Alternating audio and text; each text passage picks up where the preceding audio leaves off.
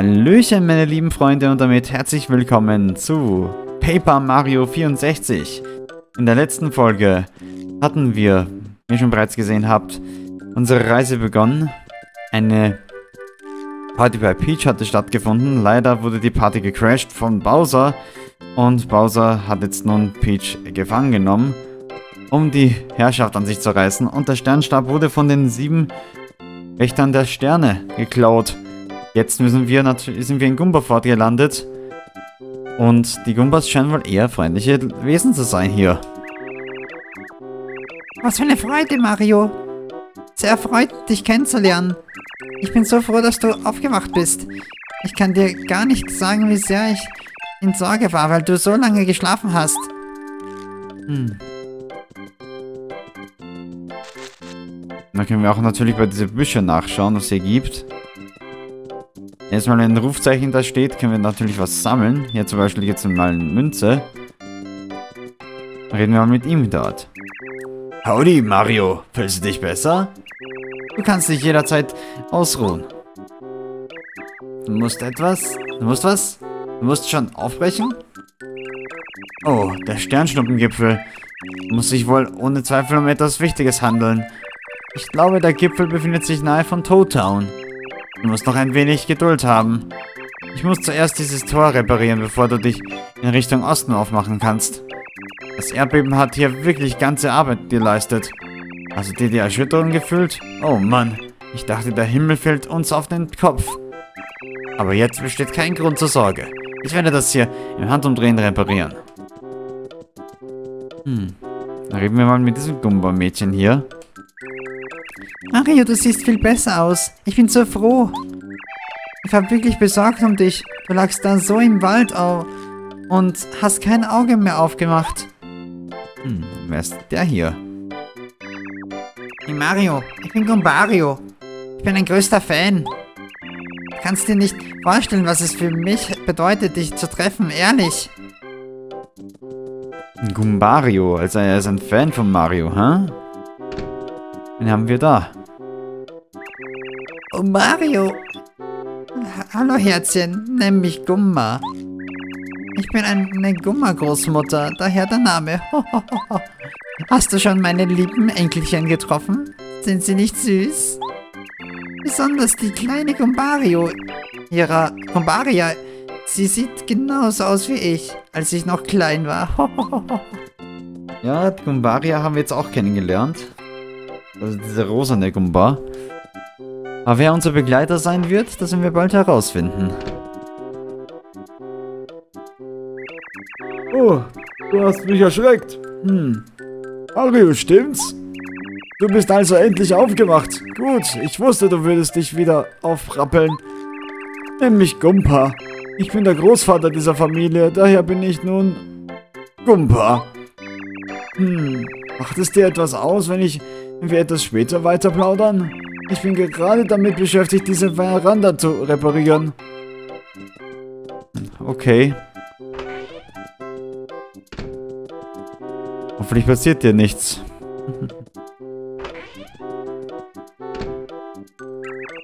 Oh Mario, mein Vater hat dich gesucht. Er wollte dir sagen, dass er das Tor repariert hat. Kannst du nach Osten und in Richtung Totan und Sternschnuppen und Sternschnuppengipfel reisen. Dann gehen wir mal zu ihm. Uh, was für eine Arbeit. Entschuldige, dass du so lange warten musstest. Das Tor ist nun repariert. Folge einfach dieser Straße. Sie führt direkt nach Totown, wo auch Pilzpal der Pilzpalast steht. Ich glaube, der Sternschnuppengipfel befindet sich jenseits des Palastes. Schade, dass du nicht bleiben kannst.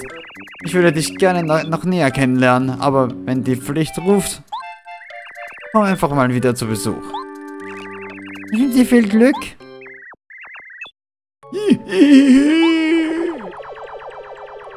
Oh, Kami Cooper wieder.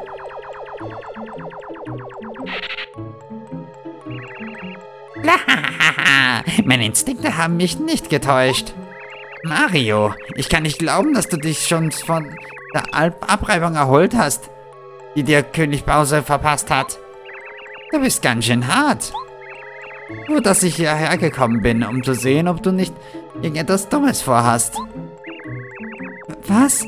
Was ist das, Papa? Was ist das für ein eklige, ekliges, fliegendes Ding? Eklig? Du freches, kleines. Ich bin eine wunderschöne Cooper-Dame. Mit meinem fast noch schöneren Namen. Cammy Cooper. Hm. Ich wünschte, ich hätte die Zeit, dir eine Lektion zu erteilen, du kleine Kr Erdkröte. Aber nicht jetzt. Mario, vernimm dies. Das ist sinnlos zu versuchen, Prinzessin zu Peach zu retten. Lächerlich. Lachhaft. Wie du bemerkt hast, ist König Bowser nun viel stärker als du es verkraften kannst. Ja, hast du ein Geschenk von ihm.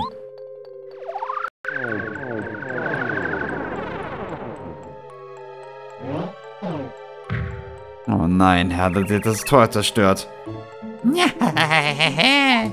Mario, du wirst auf die Knie fallen und weinen, wenn du siehst, welche Veränderungen Bowser gemacht hat.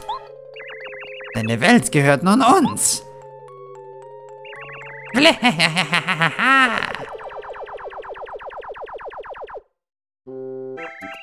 ähm, ich habe das Tor repariert. Ich will das Wort Tor nicht mehr hören. Cammy Cooper, diese Teufelin. Hast du gehört, was sie über die Prinzessin gesagt hat? Klingt nicht so gut. Ich hoffe, ihr ist nichts zugestoßen. Naja, es ist leider schon was zugestellt. Was? Bowser hat Prinzessin Peach entführt? Schon wieder? Oh, unglaublich. Und jetzt musst du zum Sternschnuppengipfel gehen, um sie zu retten, stimmt's? Ähm, das könnte ein Problem werden. Aber wir müssen etwas tun. Mario muss die Prinzessin retten. Niemand sonst kann es tun. Ähm, hey, ich habe eine Idee. Vielleicht können wir diesen Block mit Gumpas Hammer zerstören. Ich glaube, er repariert damit gerade die Veranda. Geh und frage ihn doch mal na danach. Wenn wir mal schön speichern. Und lassen Sie jetzt mal nachschauen, was jetzt abgeht. Hoffentlich geht es ihm gut.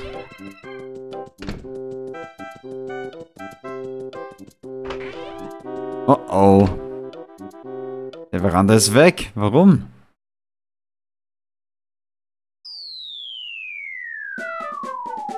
Naja, war ja klar, dass es zusammengebrochen ist. Aber was ist mit Gumpa passiert? Na, was für eine leichte Landung.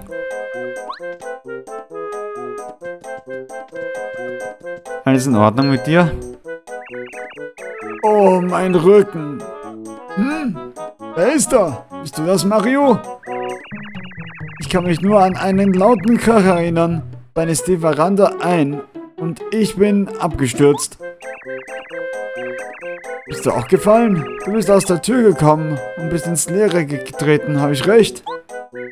Immerhin ist es uns nichts passiert. Das Problem ist, wir kommen nicht nach Hause, weil dieser Block im Weg ist. Dieser Block. Dieser Block sollte hier nicht sein. Das ist ein großes Problem. Was? Ein Hammer? Und natürlich, ähm, wo ist der hin?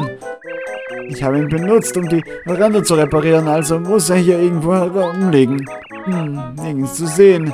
Irgendwo da drüben muss er hingefallen sein. Mario, wir sollten ihn suchen.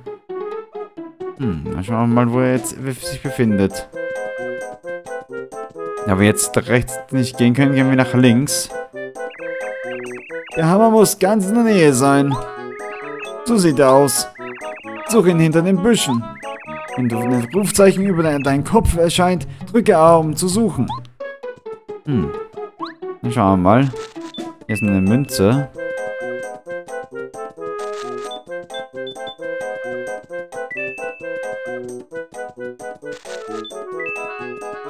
Haben wir noch nichts gefunden? Nope.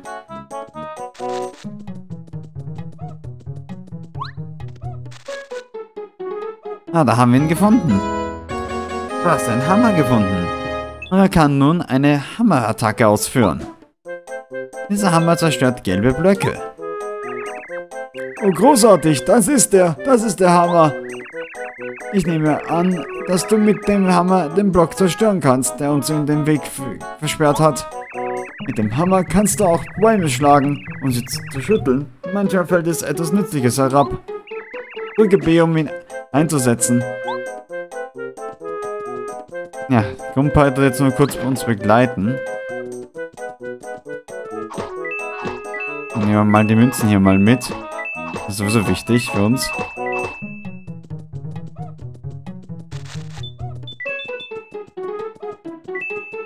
Das ist ja unsere Währung natürlich dann später. Ah. Was hast du erhalten? Pipia, ausgezeichnet. Eine süße Puppe, die genau wie Prinzessin Peach aussieht. Okay. Oh, wie schön. Ich glaube, das ist die Puppe, die Gumbaria verloren hat. Sie wird sich sehr freuen, wenn du sie ihr zurückbringst. Die Leute verlieren so viele Dinge. Da möchte man sich doch gleich ein wenig genauer umsehen. Das ist mir nicht aufgefallen, letztes Mal, als ich das privat gezockt habe. Dass man da das hier finden kann. Interessant. Okay, da ist noch eine Münze hier. Hier ist nichts.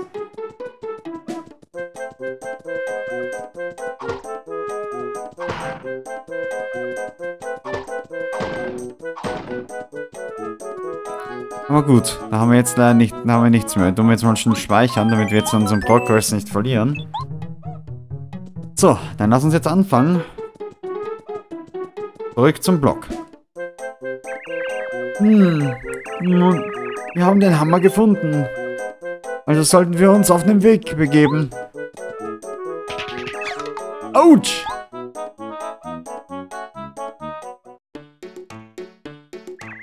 Wer seid ihr Deppen? Das ist hier mein Spielplatz, ihr Idioten. Niemand setzt seinen Fuß hinter her. Ohne meine Erlaubnis. Niemand. Sei bereit, zu Füßen von Meister Junior Truber zu heulen. Und da haben wir unseren ersten Fight. Mario, das ist Junior Trooper. Er ist der Boss der hiesigen Rasselbande. Offensichtlich ein Rüpel. Aber Hunde, die bellen, beißen nicht. Den machst du ganz rasch platt. Bereite keine Atemluft, um ihn zu reden, mit ihm zu reden, sondern zieh ihm eins über die Rübe. Ich bleibe hier stehen und beobachte das Ganze. Ja, der wird jetzt nicht so sehr nutzvoll sein.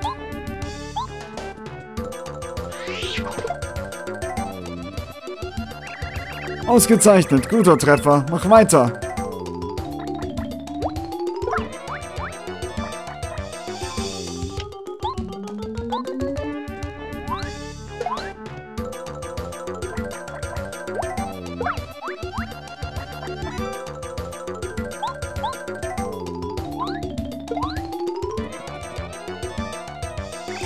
Ja, ich habe mich gerade erst auf.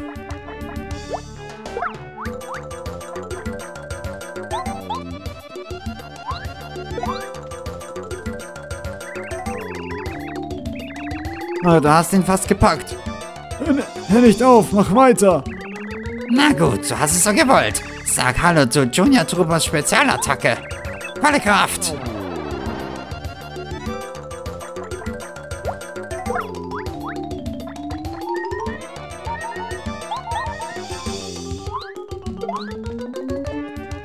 Na, da hat er jetzt keine Chance gehabt. Damit hat er nicht gerechnet. naja. Er wird wahrscheinlich noch eine große Rolle spielen da im Spiel noch, der Junior Trooper. Aber du hast es sehr gut gekämpft. Du erhältst Sternpunkte. Jedes Mal, wenn du einen Gegner besiegst, erhältst du Sternpunkte. Für jeweils 100 Sternpunkte steigst du ein Level auf. Versuche so viele Punkte wie möglich zu bekommen. Ja, da wird es jetzt erklärt. Die Sternpunkte sind die Erfahrungspunkte, die wir dann sammeln. Verdammt! Fast hätte ich gewonnen. Ich komme wieder, Mario. Ich mein's ernst. Ich komme wieder. Na dann gut. Lass uns jetzt weitergehen. Er wird nur noch eine große Rolle spielen, der Typ. Der wird uns in fast jedem Kapitel dann eintreffen, so wie es aussieht. Also machen wir, können wir jetzt den insgesamt bereithalten. Hier gibt es mal solche Blöcke, wie zum Beispiel so Herzblöcke. Berührst du diesen Block, werden deine KP-Kraftpunkte vollständig aufgefüllt. Ja, das ist schon ziemlich nützlich hier.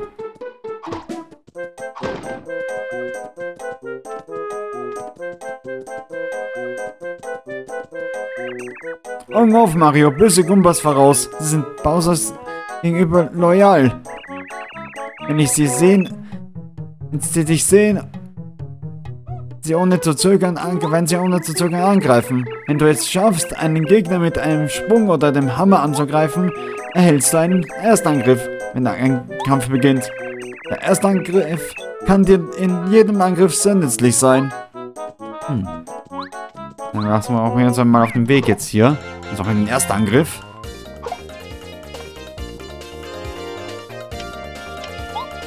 Aber die Gumbas sind ja natürlich kleine Fische. Aber ist auch besser, dass wir auch jetzt den Gegner hier besiegen. Weil das passt ja natürlich dazu, dass wir ein bisschen leveln. Das ist ein Peaks-Gumba. Und es hat natürlich einen das wird jetzt auch erklärt. Das ist ein Peaks, Gumba. Siehst du den Stachel auf seinem Kopf? Pass auf, dass du nicht auf ihn springst. Rate mal, welcher Körperteil von dir sonst verletzt wird. Ja, die Beine eher.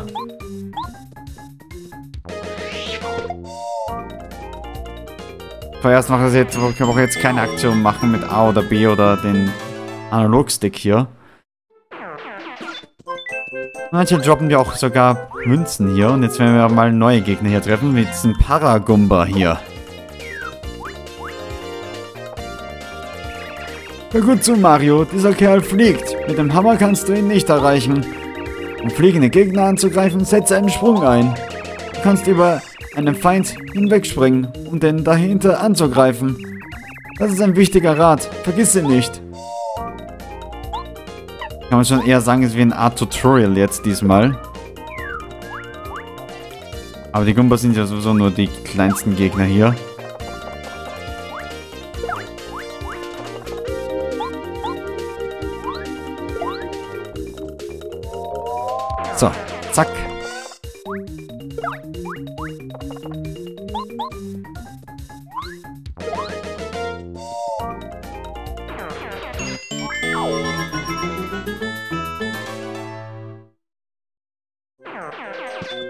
Dann kommen wir jetzt ein weiteres Item, und zwar Pilz. Das ist natürlich ein Heil-Item. Ein normaler Pilz stellt 5 KP wieder her. Du hast ein Item erhalten.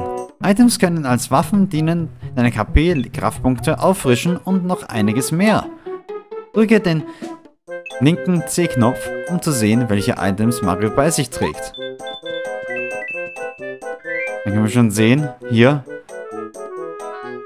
wir so einen Pilz haben. Da können wir es so auch locker einsetzen. Wir brauchen nicht unbedingt immer so die Starttaste drücken, wie es immer ist. Und so den Pilz einsetzen. Den Pippi müssen wir mal echt mitnehmen hier. Warte, mal sehen, was hier rechts ist. Da geht es ja wahrscheinlich noch zu einer anderen Route hier. Keine Sorge, Kinder, hier bin ich. Dank Mario bin ich heil und gesund wieder zurückgekehrt. Warte, da müssen wir noch kurz hingehen. Da war noch etwas. Wir müssen den Sternsplitter müssen wir auch mitnehmen. Und wenn wir das, wenn wir den Dorf wieder betreten, by the way, können wir, wenn die Gegner respawnen, also da haben wir noch eine Chance, äh, ein bisschen zu leveln. Was aber ein positiver Aspekt ist in Paper Mario.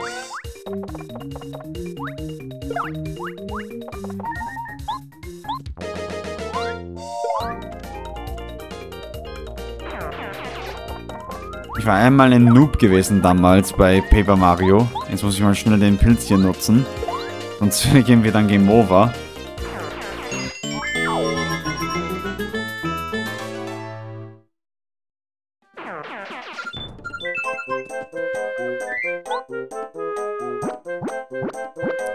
Hm, Ja, jetzt haben wir jetzt schon mal 5 HP jetzt bekommen.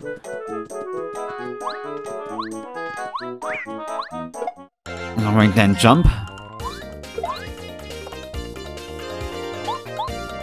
Wir besser einen Erstangriff statt einen gegnerischen Angriff. Wenn der Gegner uns erst erstes angegriffen hat, hat er den Angriffsvorteil.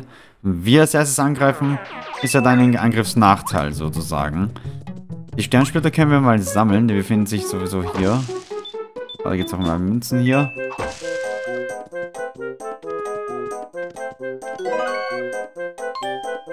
Ein strahlender Sternsplitter. Finde heraus, wozu man ihn brauchen kann.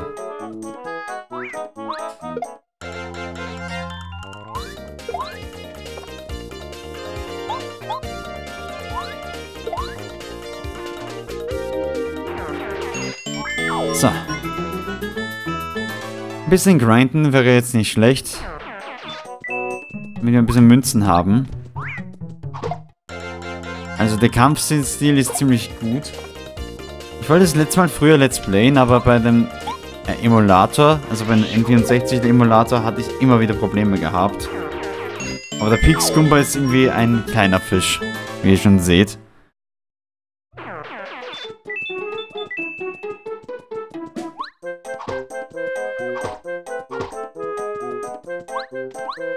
So, dann gehen wir mal jetzt wieder zurück zu Gumbaria und Gumbaria und die restliche Familie.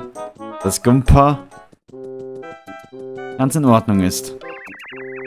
Oh, das ist das, das Ding zugesperrt? Lass mich für dich öffnen.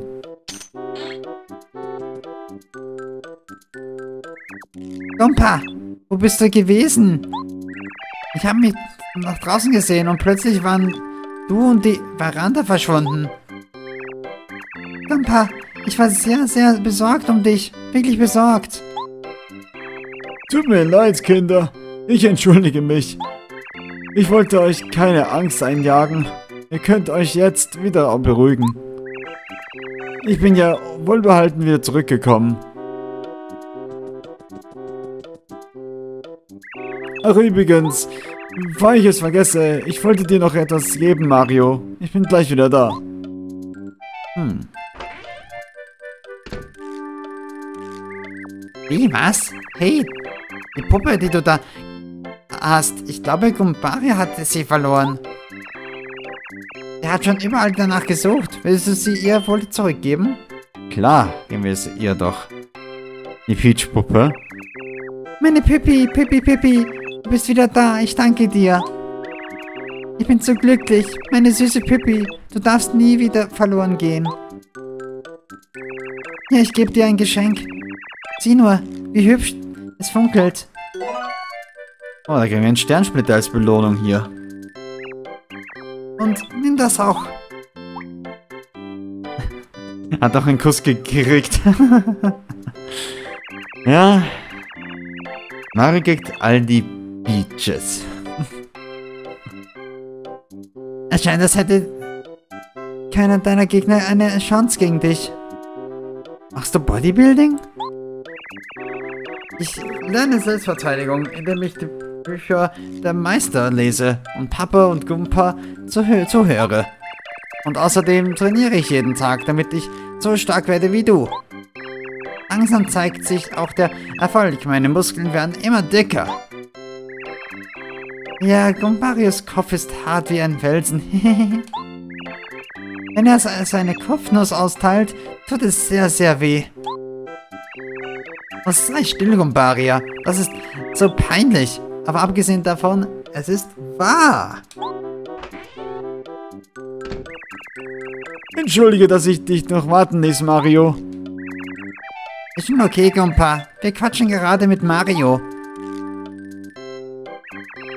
Ihr quatscht also? Entschuldigt. Ich wollte dir das geben, Mario. Du hast den Powersprung-Orden erhalten. Mario springt mit voller Kraft auf einen Gegner.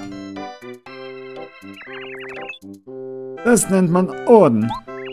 Wenn du ihn trägst, kannst du einen Powersprung ausführen. Das bedeutet, dass dein Angriff mehr Schaden verursachen wird.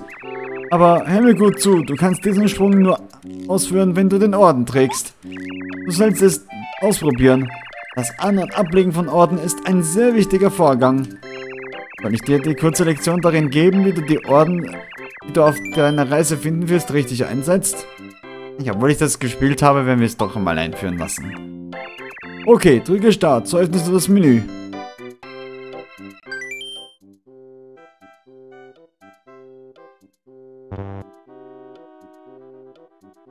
Wähle mit Hilfe des 3D-Sticks die Orden und Tabelle an. Wähle den Orden. Drücke den A-Knopf und zwar Ordenübersicht zu gelangen. Klicke nochmals auf den A-Knopf, um die Ordenliste einzusehen. Um Orden zu tragen, werden Ordenpunkte benötigt. Der Orden wird angetragen, dass du nochmals den A-Knopf drückst. Der Orden wurde abgelegt. OP steht weiter zur Verfügung. Wicke dir, du brauchst BP, Blütenpunkte, um den Powersprung einzusetzen. Kannst du dich daran erinnern, dass wir auf dem Weg einen Block wie diesen sahen? Diese Blöcke stellen nicht nur KP, sondern auch BP wieder her. Das sind wahre Lebensretter. Benutze sie, wenn deine KP und BP zur Neige gehen. Ach übrigens, Mario, ich habe von Gumba, Gumma gehört, dass du es ganz alleine auf dich nehmen willst, die Prinzessin aus Bowsers Verfängen zu befreien. Oh yeah, Mario könnte Bowser eigenhändig mit, mit verbundenen Augen platt machen. Still jetzt, Gumbario. Mario, nimm diesen Hammer. Er wird dir gute Dienste leisten.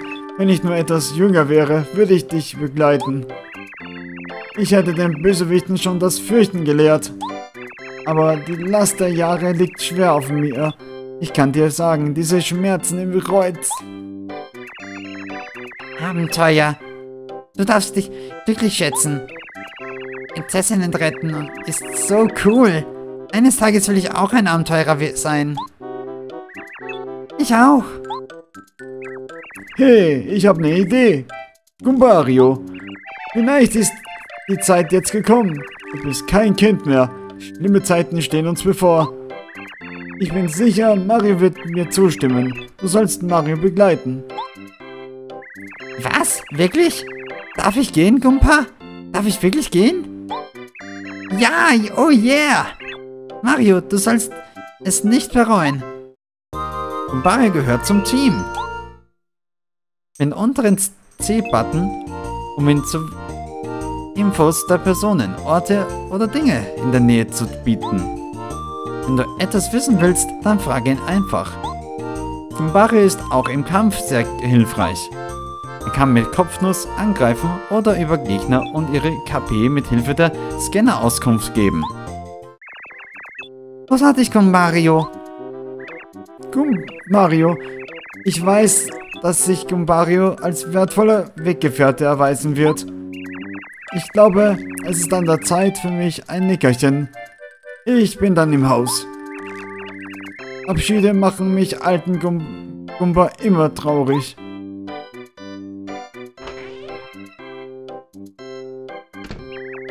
Ist so cool, Mario. Lass uns gehen. Ja, jetzt haben wir unseren ersten Begleiter, unser Gumbario. Der wird uns ziemlich nützlich sein für jeden Gegner. Aber vorerst wir mal jetzt mal schnell unsere Knochen ausruhen und dann den Part beenden. Im nächsten Part geht es dann schon direkt los. Auf dem Weg zu Toad Town. Mal sehen, wo jetzt unser Weg jetzt dann weitergehen wird. Hast du gut geschlafen? Pass gut auf dich auf. Ja, da werden wir sonst sehr viele Sachen hier finden. Und vorerst mal schön speichern.